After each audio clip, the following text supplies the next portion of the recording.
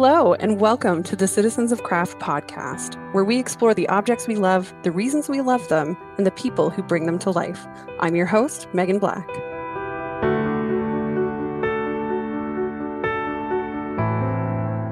In my job as the director of the Canadian Crafts Federation, I have the absolute honor of meeting craftspeople from across Canada and beyond who dedicate their lives to the creation of artistic, skillful, and captivating objects woodworkers, glass sculptors, jewelers and potters, textile artists, fashion designers, furniture makers, and more. You name it, there's someone out there making it and making it well. These are the citizens of craft. They are masters in their own right, chasing techniques that have been in use for thousands of years and exploring new technologies that have just begun to push the boundaries of art. They create objects with meaning, history, and purpose, rejecting the mass manufactured lifestyle of our time to capture something more authentic, something that fascinates, something that matters, something that tells the story of who we are. Join me as we explore that story through the 10 manifesto statements of the Citizens of Craft movement, from You Are Not a Lemming to Cookie Cutter Doesn't Cut It, and Vases Are People Too. We'll discuss these ideas and so much more by talking with the people who bring them to life, the citizens of craft. Hi there, everyone, and welcome to today's episode, the fourth session of the Citizens of Craft podcast. A fun fact to start us off today the, the Canadian Crafts Federation headquarters, where I am located today, are based in Fredericton, New Brunswick.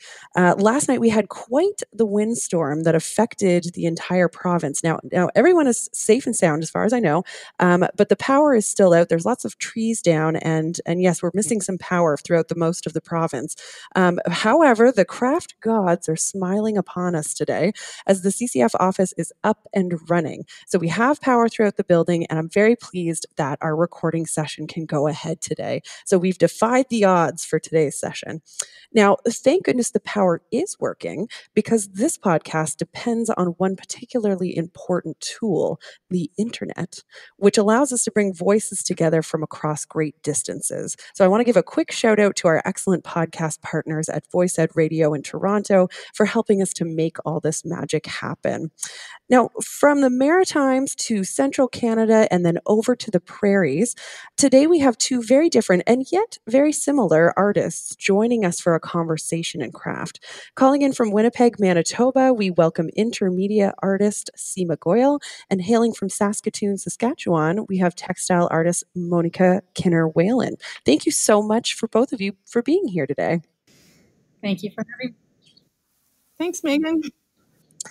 Now, both of you have come to craft with a bit of a blended background in the sense that you both have extensive training in other fields, which impacts what you do to this very day. Um, so, I'm very curious to hear how these educational backgrounds influence the work that you do in craft and then vice versa. But first, let's just set the scene a little bit with some talk about where you are right now and exactly how you got there. So, Seema, why don't you tell us a little bit about where you're calling in from today? Describe your immediate surroundings and then give a little bit more about how you came to craft. Uh, my immediate surroundings are a bit unusual in that I'm currently hiding out in the mathematics department at the University of Manitoba. but um, I have an office in the University of Manitoba. I'm the STEAM coordinator here. And my Wi Fi is not as good in my office, so I came up to math. Um, so, how my immediate surroundings so I, i'm in an office. My office looks pretty similar except that it is full of crazy materials and sticky notes describing workflow projects for projects that integrate art and science and lots of whiteboard space with students drawing their ideas about projects connecting art and science and um, kind of general fun with those uh, that conflation. So I have a taxidermy coyote in my office. I have a skeleton that is currently wearing a lab coat. I have um, vessels from the 1920s that were recently unearthed from the microbiology department that have been uh, given to me. I have a living wall, so I've got lots of plants around me. And I have giant pictures of people drawing in the herbarium from a recent project that we did. So how did I come to craft? um, that's a that's a kind of a big question. The I came to craft because I picked up a hitchhiker. Really? Yeah. So I I have always been somebody who danced between art and science. I was in the performing arts more so. I was in theater and I studied vocal jazz as well, and I was a creative writer, all those kinds of things. But I came from a science family. So science was something that we understood and was under was the promoted uh, career path. Let's say that. Mm-hmm. And but my but my parents were really open minded people, and they always supported my interests in the arts as well. So when I went off to university, I went with a bit of a conflict between doing art or science, and I got into theater school at York, and I also got into the biology program at McGill. And I ended up choosing biology, but was always really confused as to whether or not that was the right path to take. And after biology, I ended up uh, living on Salt Spring Island very briefly. And one day I picked up a hitchhiker and they asked me what I did. And I said, Oh, I'm a glass blower. And they asked me questions about it. And I had all these answers and I dropped them off.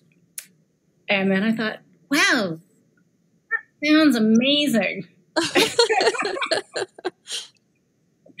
and I don't want you to think that I'm like a chronic liar or anything. It just came out of my mouth. I don't know what happened.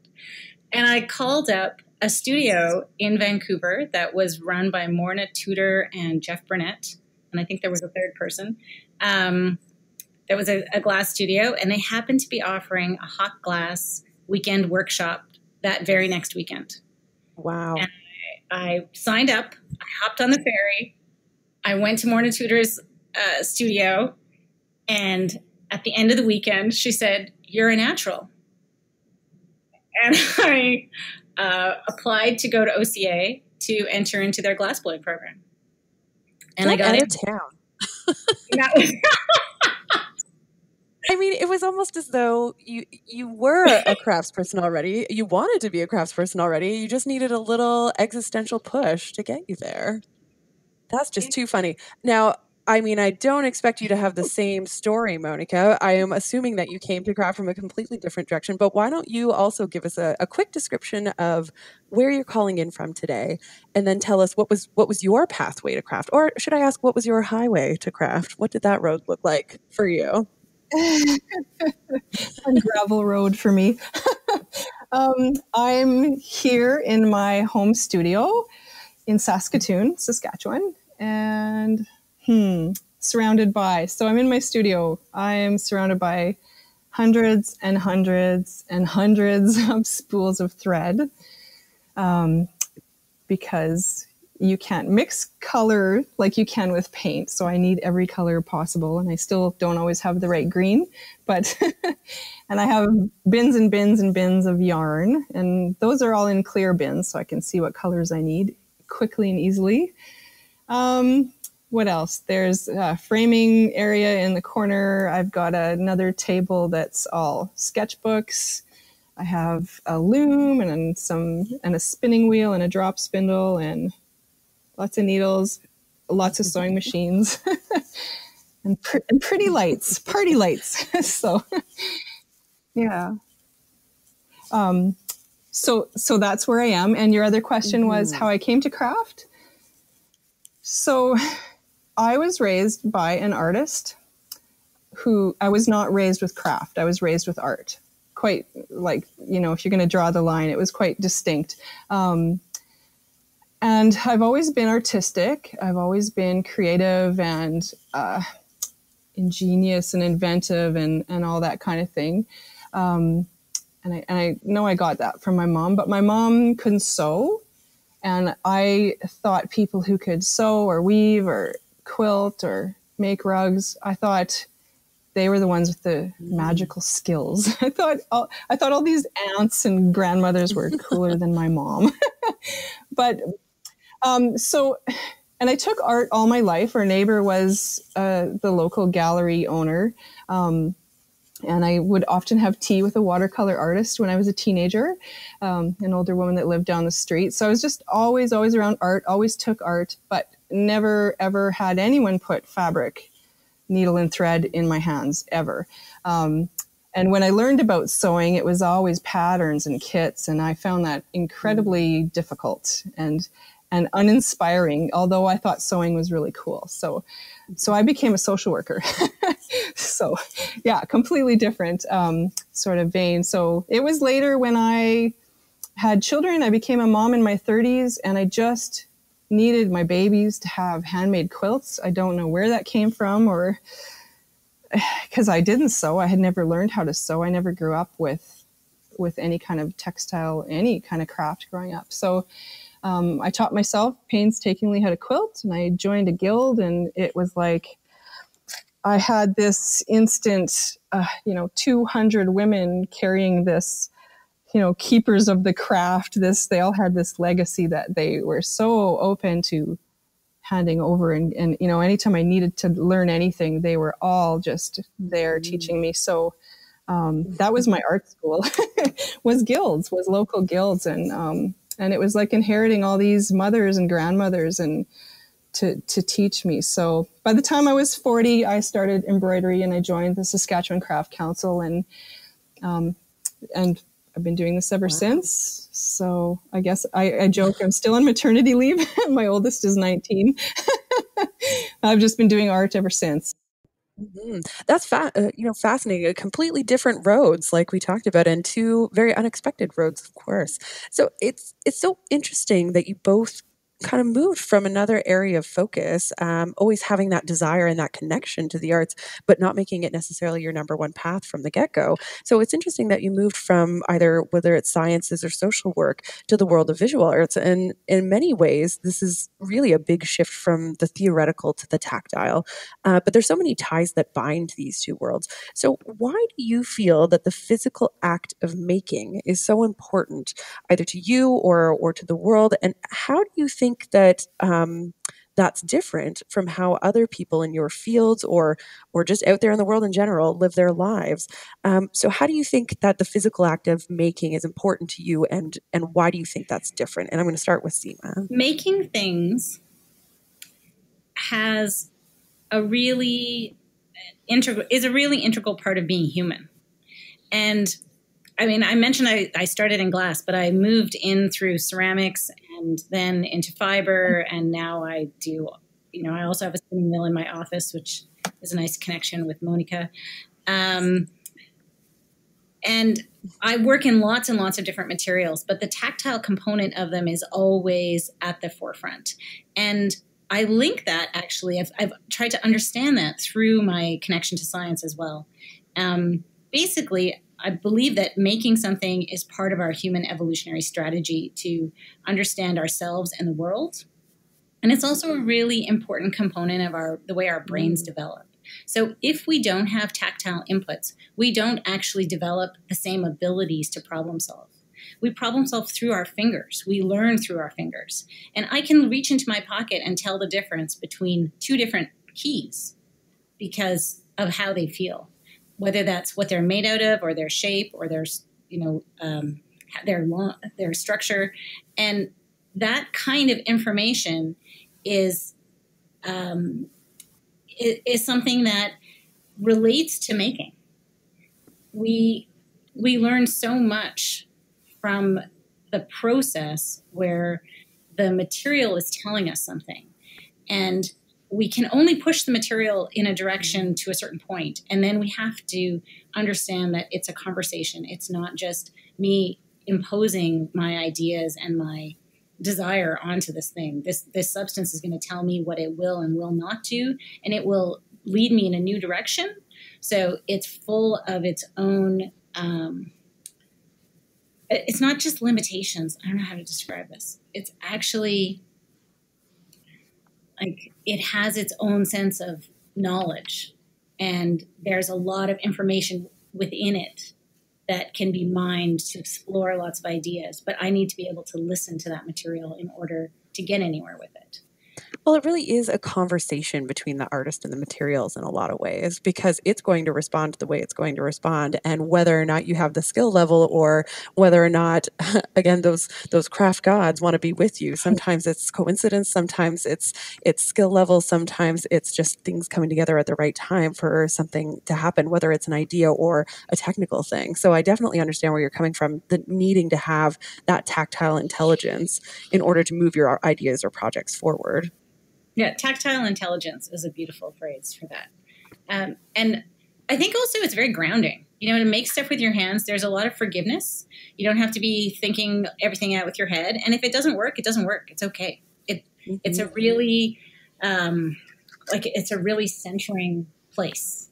And I always appreciated that both in the glass studio and in the ceramic studio, that if the maker is not centered, the piece won't work. You can't actually center. So those are two groups of people that happen to be generally very calm, relaxed people because they practice being on center. Mm. And Monika, what do you think about that? The the physical act of making. Why is that important, and, and why is it important to you? Um, yeah, I, I love this conversation so much. It's interesting because Seema's talking science, and and for me, um, that innate that innate human connection that happens um, that's in our DNA. It's also very social, right? So I've used um, the tactile different crafts in different circles um, therapeutically, right? So with with um, refugees, with people who couldn't even speak English, with children, with very young children, with special needs children, and with elderly people, and even groups of men. And and something happens when they're all sitting there busy with their hands. There's um, there's a deeper connection. Um, and for me, it's social and therapeutic, but it's obviously science too, right? So um, it's it is very healing and very grounding, and it's and it goes back so much further than we can imagine. I think you know. So, um, and I don't know if it's us and them. When you first posed your question, you kind of said what makes us different from other people, but I think everybody gets that sense when they work with their hands. And even though some people might have, you know, full time jobs doing other work, office work or whatever, they still might have something they like to tinker with or what you might call a hobby, right? Um, that's still this drawn to making. So I think even, you know, that person that needs the bread at home, they're engaging that material and they feel that I was uh, listening to a speaker at the Canadian Crafts Federation conference, the placemaking conference that just took place in Nova Scotia not that long ago. Uh, Carrie Allison is an, um, an artist who works with beading, and she does public art programs and encourages people to engage and and pick up the the skills of beading. So she teaches them, or people have those skills and they come out. And she was talking about the fact that when people are learning a new skill or when they're practicing a hand skill, they drop their guard, they drop their emotional guard a little bit so people were able to have more open conversations about, you know, either issues that they're dealing with or um, differences of opinion because their hands were busy, so their hearts were open. And I think that goes way back in time. These people in circles communicating with each other, right? Like the community that's created with that. So yeah, absolutely. Mm-hmm.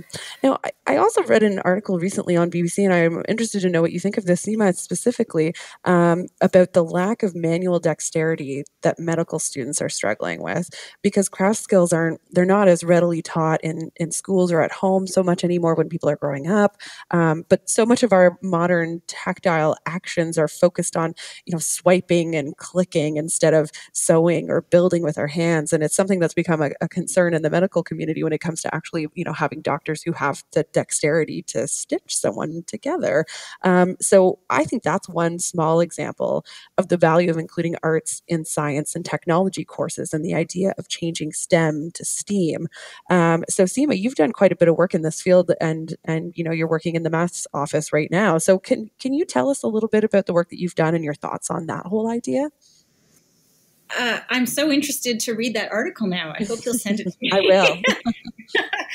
um, yeah, I mean, the thing that I find is that the students really appreciate being able to engage the disciplines that they've been immersed in for however many years to engage those in other ways and realize that they uh, that they have something to contribute. So in the way that I work, I'm I'm creating projects that are based around the sciences that explore the sciences, but we use the arts as communication forms, and we get the students to um, kind of find the delight again in their disciplines. Mm. In in terms of what you're talking about with developing skill and manual dexterity, um, I mean, I, I think that we all need to continuously develop those things. And I hadn't really thought very much about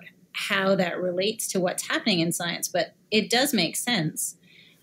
Um, although I'm not sure that the majority of people who end up in medical school throughout history really ever had that much experience with sewing, for example, mm-hmm. because it used to be men up until about 50 or 60 years ago. And then um, the women that ended up in med school, my mom was a doctor.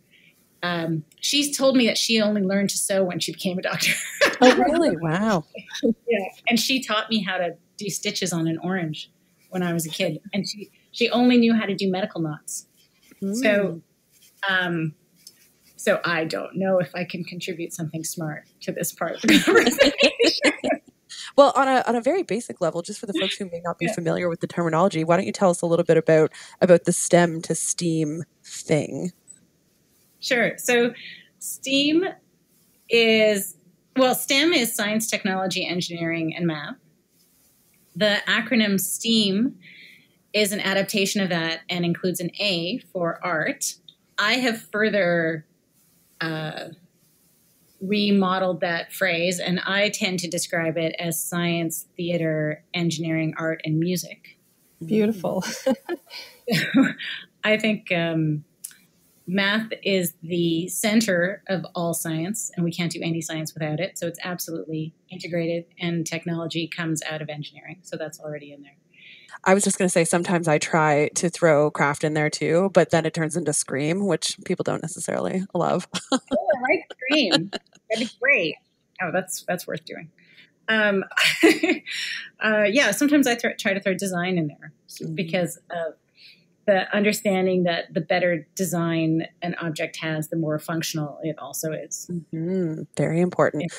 So, Monika, you've talked a lot about that that emotional connection to the to the tactile as well. Can you tell us a little bit more about some of those programs that you did working with either you know new immigrants or people who were struggling with transitions in their lives, or you know how have you seen that activity open people up and and have them maybe speaking in a different way or exchanging in a different way?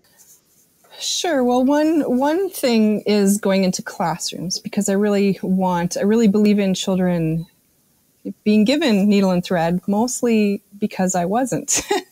so I have this mm-hmm. thing. I'm on this mission to to make sure kids are still introduced to it. I mean, I'm only one person, but from that point of view, it was um, the boys in the room who, and I know that sounds really generalized and binary, but it was the, the boys who had never been given needle and thread for sure. If anyone had, it was usually a girl in the classroom, and the boys they just they just ate it up, and they would line up at the end of the class and say, "Can I please take this needle home? I want to keep sewing." And so, like just just to kind of break down those barriers, just felt amazing to see that, to, to give people options that they maybe didn't know they had. And then the other sort of really big story for me was one group in particular that I was asked to do a class for. Nobody spoke English.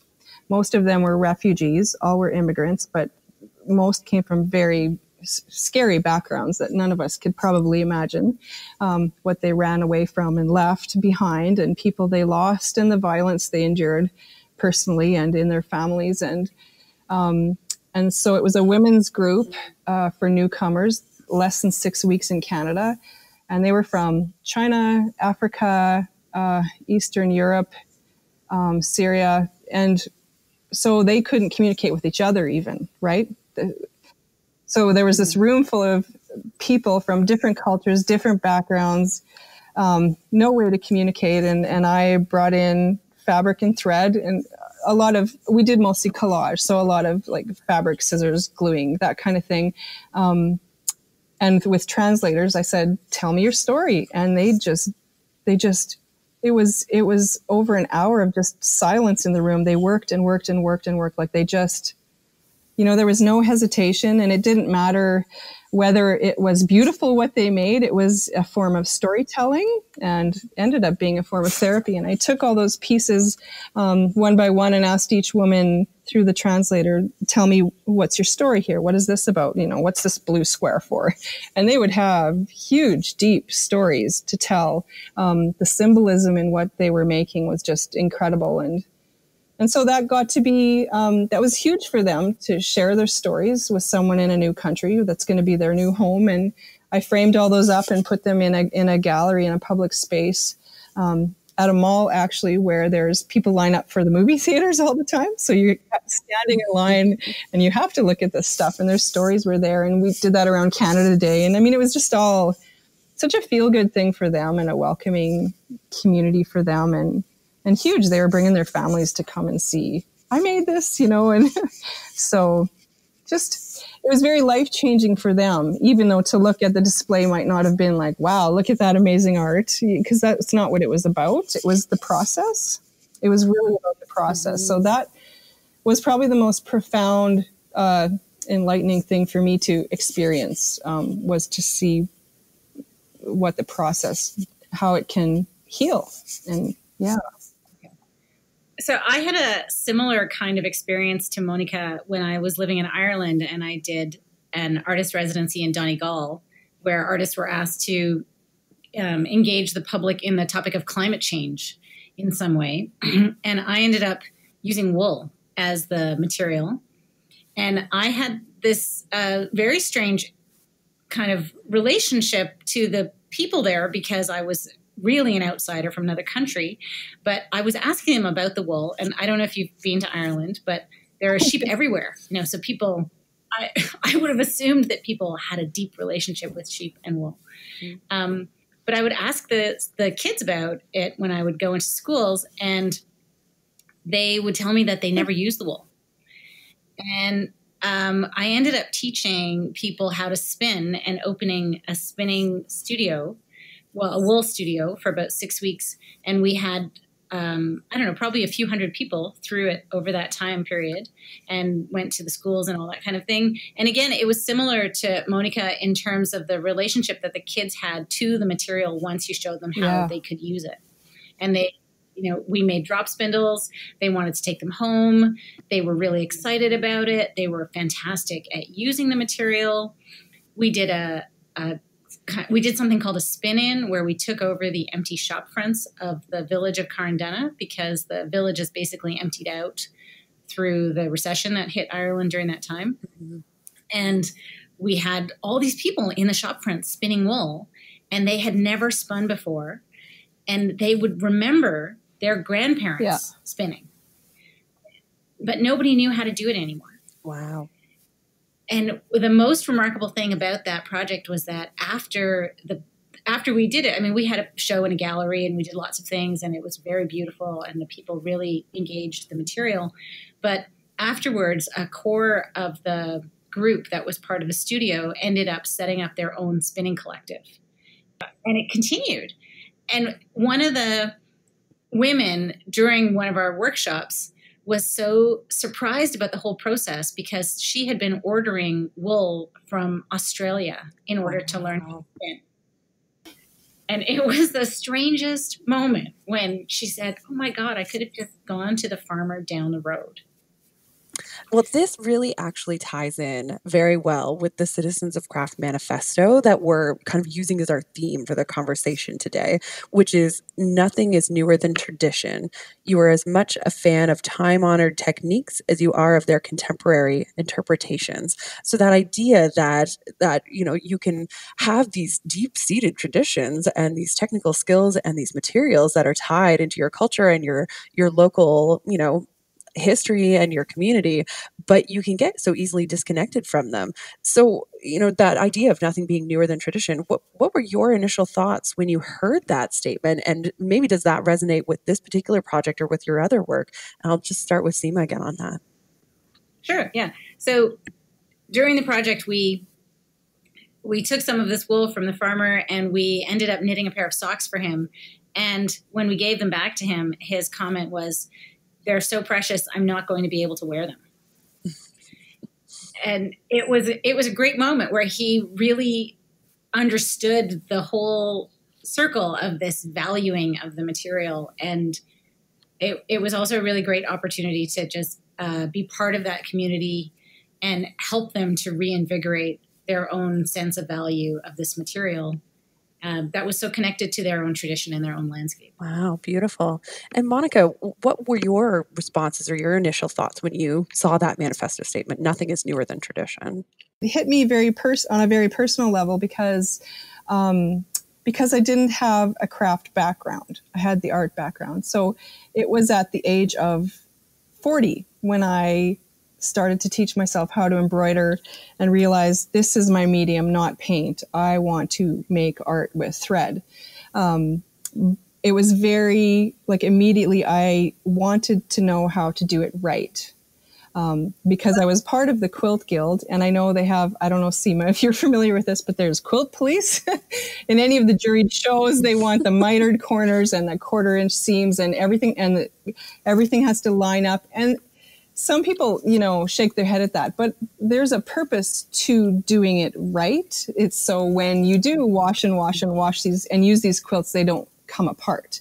So it has to do with um, longevity and integrity of what you're making. It's like welding something and you don't have the joins right. Like, you know, it was so important for me at the beginning of my fine craft career to learn the proper ways of doing things so that my work would hold up. So I joined Bridge City Needle Arts Guild, which is under the umbrella of the Embroidery Association of Canada. And again, it was another, this room full of women that were these keepers of knowledge and skill. And they just, they showed me so many things even i wasn't even threading my needle right to, wear out the thread like and how to not use knots in the back of your work. So for me the technical aspect of learning learning it correctly um, getting getting a really solid foundation for my fine craft was just so important and i was able to find that. So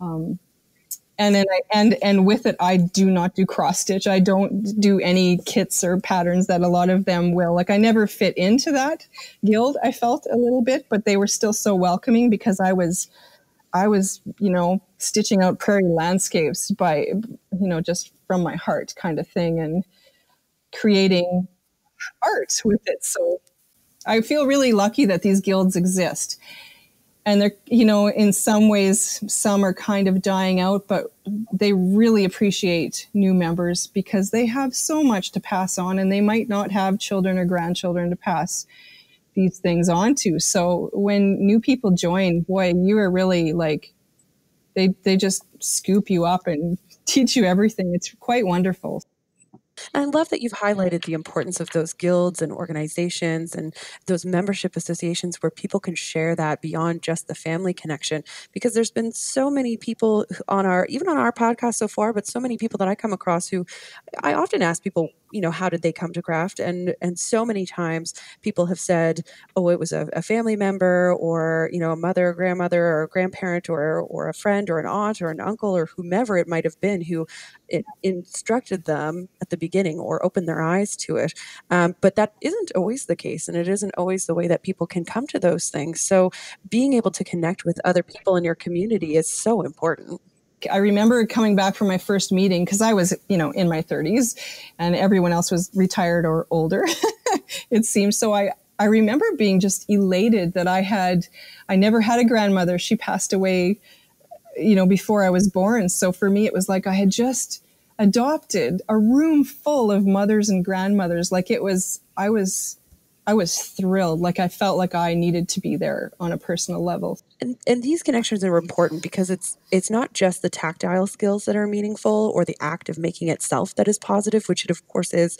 Um, it's the work that comes out of it that's meaningful as well. It's it's a connection between our lives today and our past and our history. And and heirlooms sometimes, you know, they can get tossed aside or they can be cherished for a lifetime they they hold these stories and we talked a little bit about people having being being empowered to share their stories through craft so i'm, I'm curious to know from you know going from the skill side of the act of making to the the sort of final product if you will um, do do you have any either cherished family heirlooms or or objects that you've collected and craft that really have meaning for you personally um, that that tie into your other interests or that tie into your craft interests? Uh, Seema do you want to maybe share something from that perspective? Fabrics that were made in the factory in India that used to be owned by my family. And, and I'd never really thought about my own connection to textiles or craft until I um, learned how to spin. And during that that project in Ireland where we did the spin in, and you know we were all talking about the the relationship of revolution and craft, actually, like craft as a form of activism, essentially. Somebody in the group linked it to Gandhi and how Gandhi spun cotton to defy, yeah, to defy the British. And he made a particular type of fabric that was this rough kind of hand woven fabric, and that was the only thing he would wear. Um, and when that when this woman in Ireland said that to me, I thought, oh, I'm repeating something really kind of obvious. and uh, and it reminded me that I came from a textiles uh, family that I, I didn't really acknowledge that as um, as my history, but my grandfather owned a owned Bharat Sari House, and and so I have these pieces of silk that were made in my grandfather's factory that I keep, and they're hand embroidered and they're very beautiful, and they're different kinds of blouses, basically. Um, and they have, and the, he named that particular line of clothing that he produced, he named it after my grandmother, whose name was Thada. So they all have my grandmother's name on the label, on the tag. And Monika, you know, do you have some maybe cherished family heirlooms that are craft related or or again pieces in your collection that you think are really meaningful that you would like to see become heirlooms perhaps? Well, my my family came on a ship in the 50s right after, you know, right out of East Germany after the war, so they came with nothing. So um so that's sad, isn't it? but mm-hmm. there was a woman um who was uh, I don't know my my somehow related through marriage, but not my grandmother, an older woman who did make a baby quilt for me. And um, when I started quilting and had my own children, my mom said, I have your baby quilt. Do you want it? And I was like, I have a baby quilt? I didn't even know. And as soon as I, she gave it back to me, you know, it's maybe like a meter by, you know, it's just a small crib quilt. Um, I remember just every square of fabric I remember. I remember staring at. I remember touching. Um, the polyesters were squares were because that was big in the 70s. Were still all uh, really vibrant colors. The cottons were completely shredded and gone because they're plant based, right? Mm-hmm. Um, and so, and I remember the square I didn't like because it had cowboys on it, and I like the ones with the flowers. So it's it was really amazing to hold that again and see that. So I've recovered the back and put a new binding on it. It's hanging on my wall. Um, oh, wow. And so, yeah. And then I have also a piece of wood uh, that my grandfather, my Opa Kinner, had made from the first property they bought when they came to Canada um, at the lake. And it was, so we bought a cabin. And so it's a piece of wood with the last name Kinner uh, burnt. I think it's burnt into it. And he made that. Um, and I keep this chunk of wood like it's so there's something about it because he made it. Well, you mentioned that, you know, people who have come from other locations, who have relocated to Canada or elsewhere, or who maybe have gone through sort of uh, traumatic or, or extensive experience to get to a new place. I think that craft can be really like a, a, new way of forming a new homecoming for yourself in the sense that you may come with nothing or you may have nothing, but we can all make something.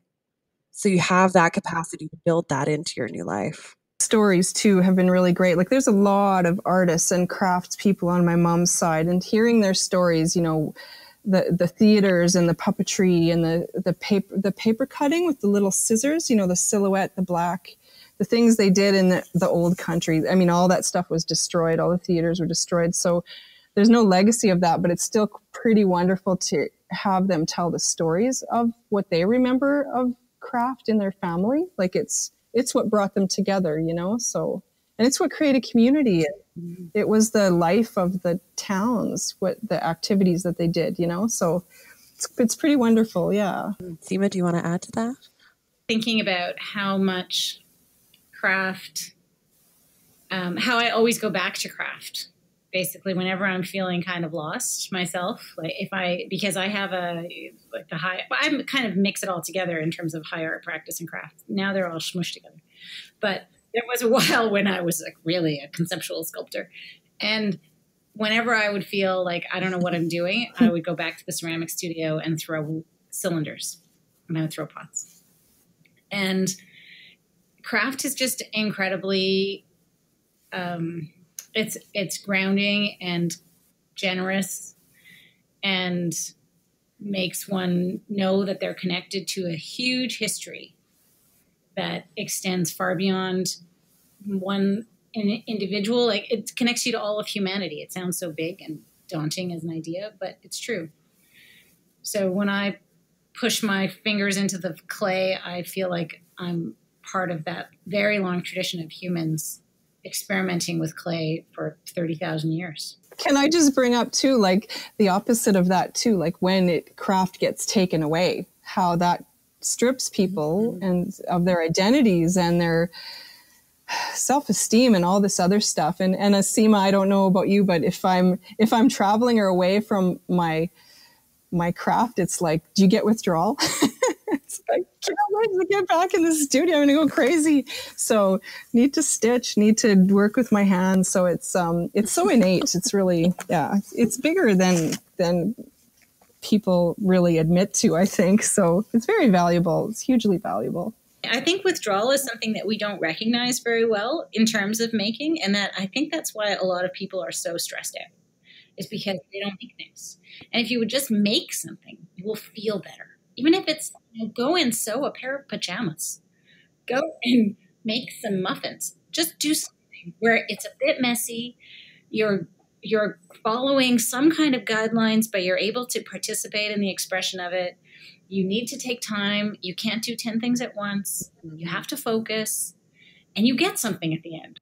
Wow, that's good advice I think for everyone to to go forward with. So I I think we've come to the final segment of today's episode and I almost I feel like we could talk for hours about all of these very interesting topics. Um, but I do want to run through the the final segment today which is our quasi fast paced, slow craft lightning round that we've been calling it. So I'm, I am going to ask you each a series of questions. And if you can share your immediate thoughts as fast as you can, let's start with uh, Monika first and Seema. We're going to follow directly with you afterwards. So I'm going to put you both on the spot for a minute. So one, two, three, let's go. Do you have a favorite tool? My cuticle scissors. and Seema? Uh, drop spindle. What is your favorite gallery? I've never seen a gallery I didn't like, honestly. We have a big modern yes. art museum here now, the Remai, and I've I go to pop-up shows and they're just as fulfilling. So yeah, it doesn't matter. and Seema? Yeah, right now in Winnipeg, my favorite gallery is at the Manitoba Craft Council because they have great new shows and they're diverse, they're by contemporary people, and they mix it with the Manitoba Craft Museum and Library shows. So you get this uh, historical show one month that has you know, quilts that are fantastic, and then the next show is uh, 300 hooks made by a local uh, blacksmith, things like that. And that's the C2 Center for Craft? That's the C2 Center for Craft, yeah. Lovely. So, what is one piece you wish you made yourself?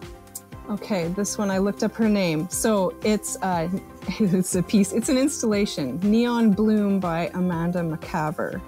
incredible because it's tiny thread and it's larger than life. It's just amazing. So, wow. And Seema? Peter Tittenberger makes these fantastic ceramic, crazy creatures that are so, they're out of this world. I can't even explain them. Um, yeah, they're wild. They're like, they look like sea creatures, but they're all from his imagination. What craft related book should everyone read? Monika? I really like the books by Beaney and Littlejohn. They have a series of booklets that I find very inspiring because they don't teach a technique. They they teach more about developing your own your own uh, work. So yeah. Homo aestheticus by uh, Ellen Dissanayake, which is about this theory that humans are essentially um, makers, and that instead of just be, being called Homo sapiens, we would also be called Homo aestheticus. Very interesting. Do you have a favorite quote? My mom used to always say, "Nothing to it but to do it." So. One of them is make no small plans. And that was kind of the motto of my graduate school. And no, well, of the sculpture department, not of the school. And um, the other one is the cure for boredom is curiosity. There is no cure for curiosity. What is your greatest weakness? Not being able to say no to commissioned requests. some are great, some are like, why did I do this? yeah. And Seema? Oh, time management. I, it's like I think that there's a teleporter that can just get me to places, and so I don't a lot. I don't a, a lot in wiggle room. That's me. Who had the greatest influence on you, Monika? You know, I guess I could say it was the woman who made that quilt, uh, my baby quilt. I, I would visit her at lunchtime across from my school, even though we weren't related, and she always had quilting pieces and rug hooking and braided rugs and weaving all this stuff and she was always happy. And she had this sick old grumpy husband but she was always pleasant and she was surrounded by fiber arts. And i just thought wow is that is that how you get happy in life? So, so i think it's her. Uh, that would actually be my mom because she was a person my mom was a person who really believed that life was an adventure and you could do lots of things.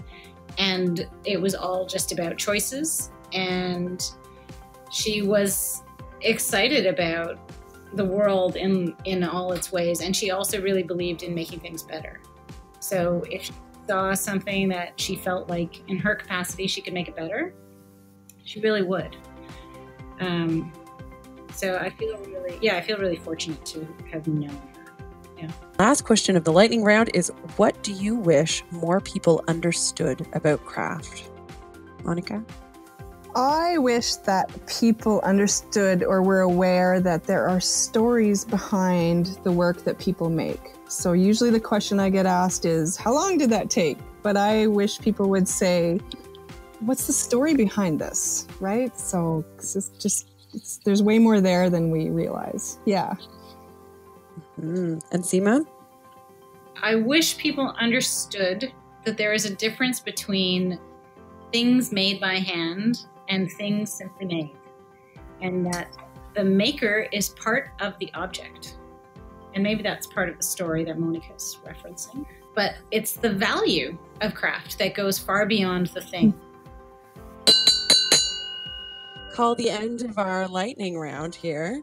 And I really, really want to thank both of you for taking the time to be here with us today and for participating in what I think was a really important conversation.